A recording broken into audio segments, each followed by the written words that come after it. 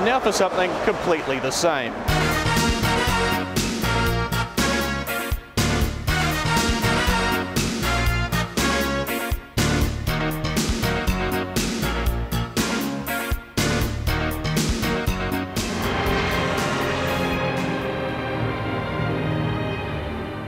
Hello and welcome to another VHS Revue. In today's tape, I tape myself in Adelaide back on the 13th of February 2000.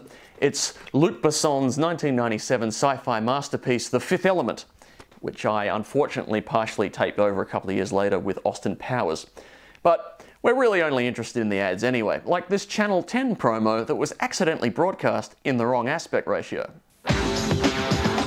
7.30 Thursday, Amanda Keller takes you on a gender-bending mind trip. Beep, beep. As a trunkie swaps places with a drag queen. And from Britain to the bush. What in heaven's name am I doing out here? See what happens when a celebrity chef faces her toughest audience. This is a challenge, I promise you. The all-new Switching Lives, Benedict. A brand new viewing experience. That sounded like Anderson. Brady Anderson at the wall. You'll see it all on Unreal TV, following Switching Lives, Thursday on 10. Whoops, not sure how that could have happened. Widescreen digital TV was still a year away. Maybe they were doing some early experiments. I've already tediously covered aspect ratios two episodes ago, so let's move on. Hyundai Lantra. Great. Big 1.8 litre twin cam. There's a- No, no, don't tell me. Remote central locking, aircon, CD player. Mister, you talked me into it. At 19,990 drive away, the feature-packed Hyundai Lantra sells itself. Then why are they bothering with the commercial? Remember when online stores were new and people just assumed they were scams instead of simply trusting everyone on the internet unquestioningly like we all do now? Hmm. But back in 2000, we needed ads like this. Yes, Mrs. McLaughlin at Frenchs Forest. The people at dstore are real and they know their stuff. This is one of the people who reviews all the products, aren't you? and this is the warehouse where everything is packed. D Store is a flesh and blood operation, swarming with real people with real feelings. See, Baldy? Want an online department store you can rely on? dstore knows. dstore.com.au. I'm sure it still beats working for Amazon. I don't know about you, but I could kill for a drink.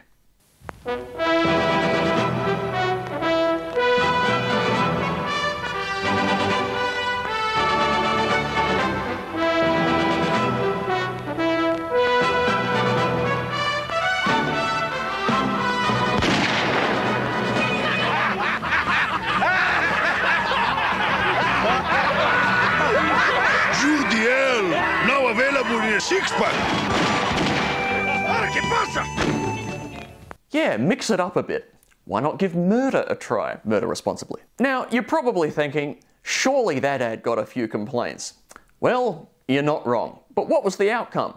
Let's find out in a brand new segment called.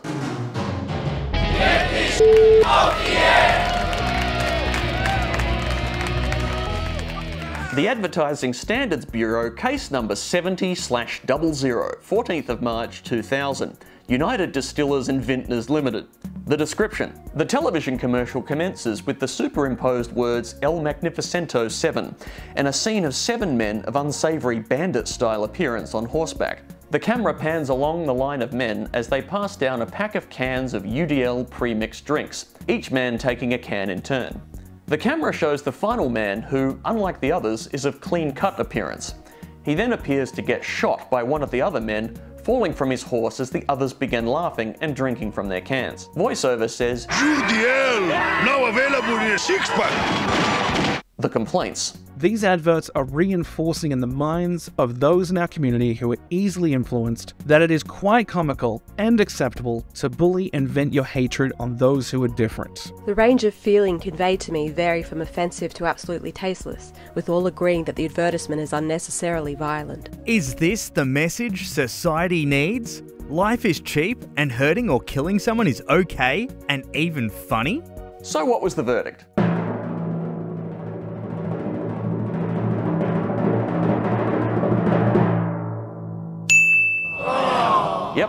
The board determined the advertisement did not breach the code and would not offend prevailing community standards. It was noted that the actions of the men were clearly being presented in a fictitious context as a parody of the spaghetti western movie genre. The board accordingly dismissed the complaint. So, no worries then.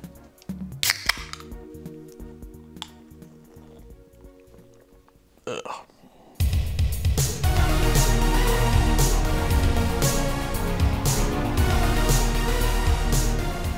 There's one thing in particular that would have made this ad for Force Electronics look a bit out of date in the year 2000. See if you can pick it. TV repairs. Kiss your money goodbye just on the call out fee. Or give them the kiss off and bring it to Force. No repair, no charge, no worries. Force Electronics. There's one near you. If you said that flashing super, you'd be wrong. Those are timeless. No, it's the old paper $20 notes, which were phased out when the new polymer 20 was introduced in 1994. Six years later, and this ad is still on the air, well past its shelf life. Some ads can get away with it, like those classic VB commercials voiced by John Meillon. A hard-earned thirst needs a big cold beer, and the best cold beer is Vic. Who, despite dying in 1989, a notoriously bad career move, still had his iconic voice advertising long cold Vics well into the 2000s, after his family gave the beer company their blessing. You can get it any old how. While we're on the subject of zombie ads pushing it past their use by date, here's another example from my own recollection. Back in 2013, I just hooked up the TV in my new apartment in Hawthorn, and I saw this ad for Aunty Kath's cookie dough. Dad, is there anything to eat? Oh, I'll see.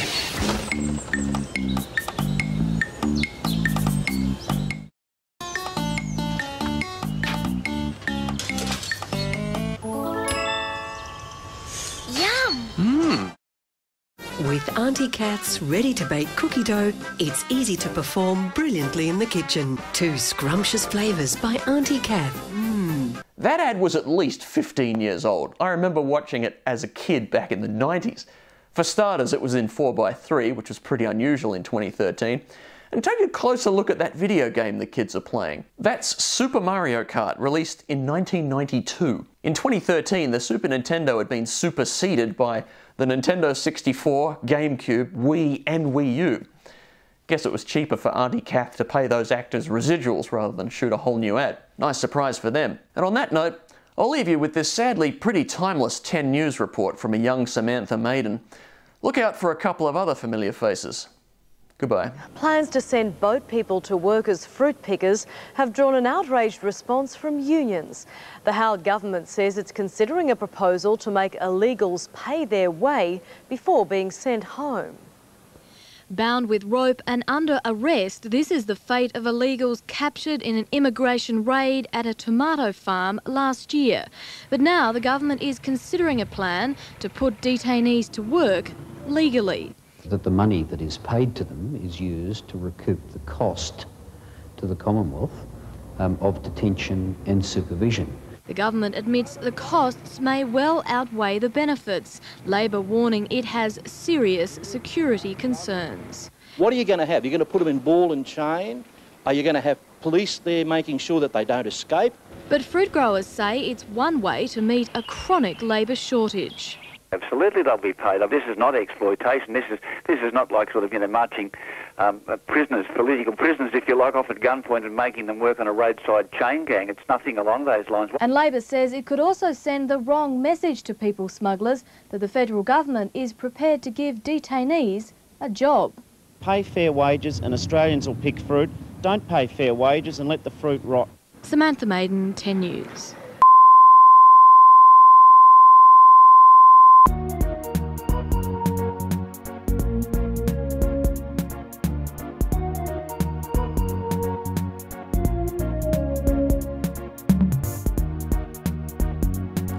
We've got the AFL Live microphone right at the foot of this bounce as the umpire goes in and goes. Thank you very much. I'll boing you back there, David.